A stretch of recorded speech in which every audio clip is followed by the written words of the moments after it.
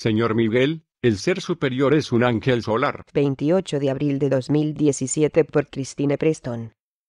Christine, Hola trabajadores de la luz. ¿Sabes que el mantra budista y tibetano Om Mane Padme Hum es un llamado a una transformación de la propia existencia? Sin embargo, las palabras significan sonido del silencio, diamante en el loto. A menudo se recita sin la comprensión de este significado. Man significa joya o diamante, y Padme, flor de loto.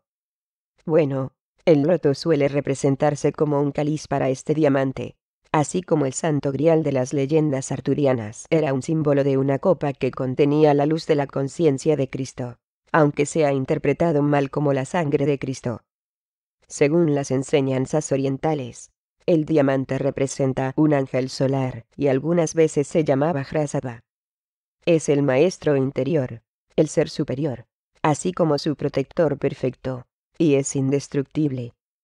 Según la tradición, esta flor de loto tiene doce pétalos. Es mi opinión que estos pétalos representan lo que hemos llegado a conocer como las extensiones del alma, o encarnaciones del ser superior, no sucesivas, sino las facetas de este diamante. Como hemos visto en los mensajes y videos anteriores, la presencia monádica, llamada espíritu, o presencia yo soy, nos dota de identidad y conciencia, y esto es en el grado en que la aceptamos, o la buscamos. De acuerdo con una enseñanza canalizada por el maestro Hualkul a través de Alice Bailey, las mónadas crearon doce almas con una S mayúscula como lo es en el sentido de un yo superior y una mente superconsciente.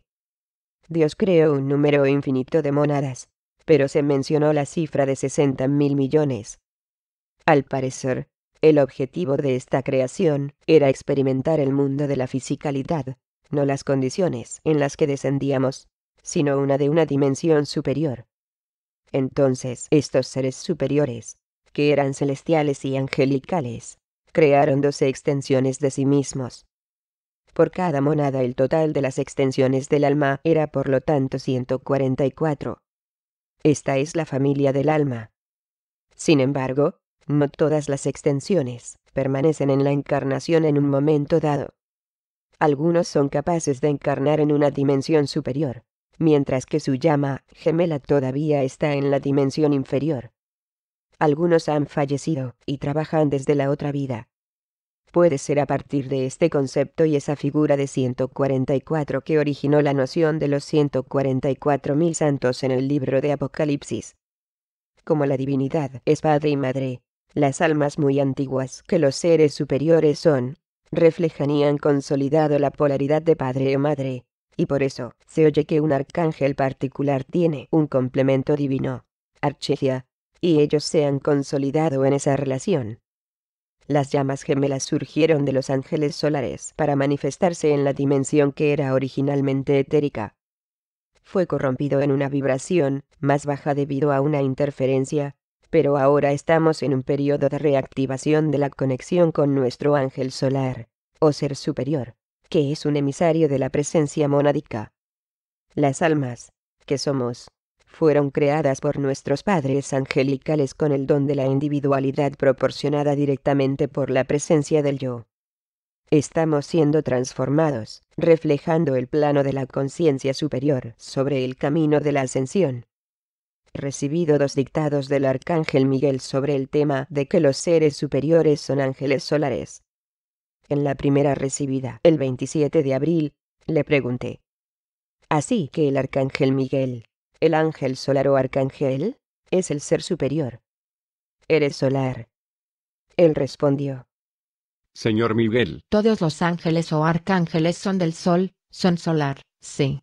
Somos emisarios de la presencia yo soy y distribuimos conciencia, amor, luz, calor y vida al mundo. Es una plataforma de vida y de evolución, Christine. Los angelicales hacen el trabajo de servicio, y de tutela las evoluciones de las almas. Hay almas que son jóvenes y están en proceso de evolución. Hay viejas almas en el sentido de rezagadas y son desafiantes de la ley. Hay más almas antiguas que son de la luz y hay almas angélicas en la encarnación en el proceso de redespertar. Ha habido interferencias, pero hemos intervenido y nos hemos situado entre ustedes, así como otros, y los atacantes. Estos últimos tuvieron que pasar por nosotros, los arcángeles y los ascendidos, y no podían pasar por los decretos de su juicio. Protegemos los nuestros y evitamos que el daño llegue a ellos.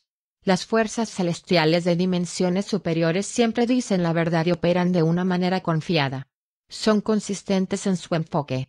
Nunca son críticos y siempre muestran tolerancia y comprensión. Christine, Esta mañana, 28 de abril, el arcángel Miguel me dio un dictado que era palabra por palabra, para confirmar y ampliar las enseñanzas según las cuales una relación es necesaria con sus seres superiores y soy presencia, mediante la oración, las visualizaciones y la meditación, ya que activa la manifestación de la merkaba personal para la ascensión. Es un carro o vehículo de luz, como una puerta estelar, pero tetraedónico, con campos giratorios como ruedas, que pueden transportar, nos lleva a una dimensión más alta, eleva las vibraciones.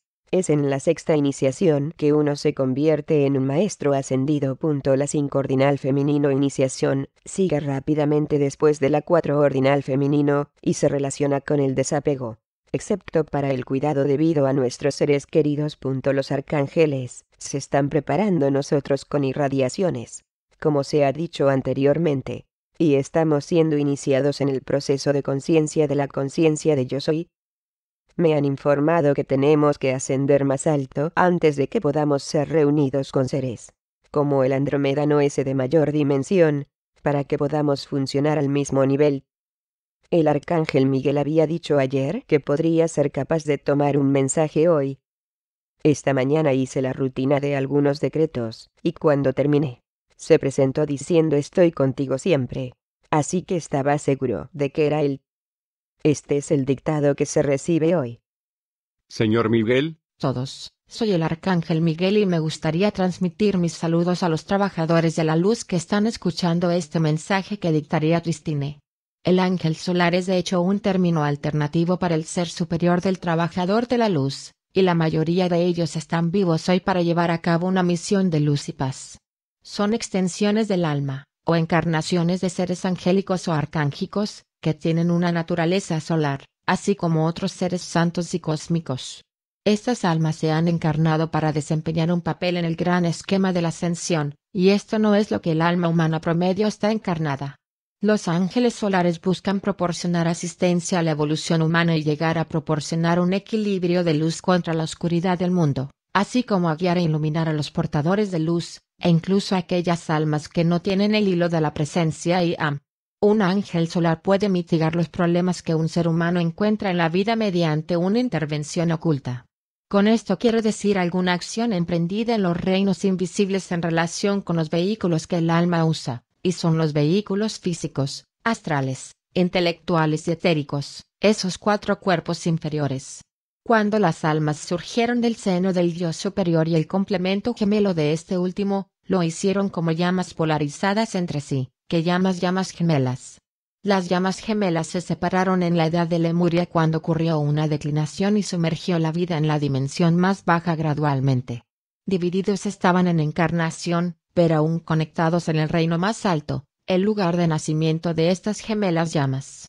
En la encarnación, el hijo a imagen de su padre, su ser superior, se consolida en el género masculino, y su otra mitad, la hija que refleja a su madre, su ser superior, se consolida en el género femenino. Usamos estos términos, hijos e hijas, así como padre y madre de una manera figurativa. También llamamos a los hijos superiores padres de los seis conjuntos de llamas gemelas, pero los hermanos y hermanas no están necesariamente en encarnación al mismo tiempo, y pueden haber sido recordados. A menudo las llamas gemelas viven sus vidas en la separación porque el despertar de los ángeles en forma humana es una ocurrencia relativamente nueva, ya que han tenido un número de vidas, así como el karma acumulado que necesitaba equilibrarse antes de que pudieran ser reunidos. A veces ascendían y arrancaban a su pareja en el camino de la ascensión. A veces les ayudó a llevar a cabo su misión en el plano físico, después de convertirse en un maestro ascendido o maestra de la señora. Los seres angélicos estaban muy involucrados con la vida desde el principio, y luego hubo interferencia, y como resultado de esto, el caos. Pero el plan divino se está desarrollando como debería. Todo está en su lugar y funciona bien para revertir la marea del mal y sus agendas de engaño. Una gran espiritualidad está en el aire hoy. Y quiero que sepas que la raza humana está progresando bien a pesar de algunas apariencias. Los ángeles humanos, cuyo ser superior son ángeles solares u otros tipos de celestial, cósmico, o a los que podréis llamar ultraterrestriales mientras habitan en dimensiones superiores. Estos ángeles humanos con el hilo de la presencia y am, han alcanzado una etapa muy sagrada sobre el camino de la ascensión. Están despertando a su realidad interior, así como a su conexión con sus padres espirituales.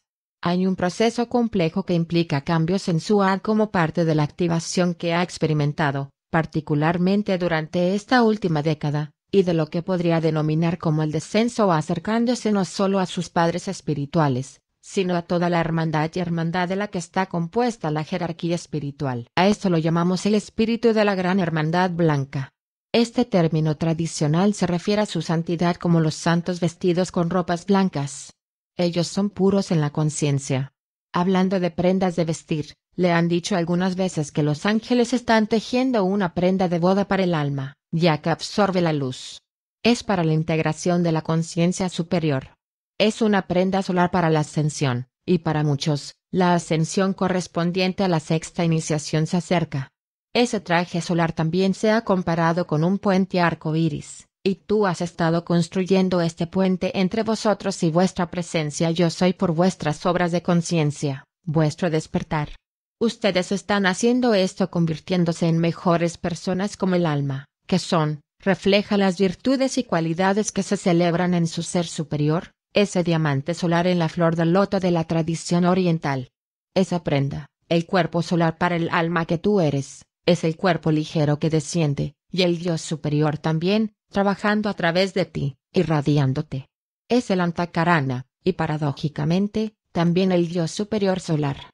Ahora, cuando la Merkaba entra en forma, sobre la orden de su presencia yo soy, para elevar su vibración, como una puerta estelar, también le hace aparecer como si estuviera vestida con una luminosa vestidura de boda de luz giratoria. Entonces usted parece una estrella en etérico.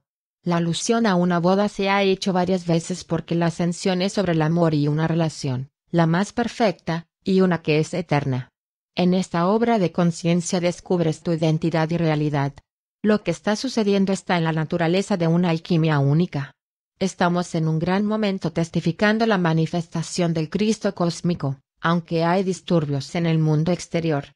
Pero dentro, y debido a los estargates personales y macrocósmicos, está el dibujo más cercano del reino superior que tiene lugar, y a la alegría en el corazón de sus guardianes y mentores, mientras nos estamos preparando para la reunión.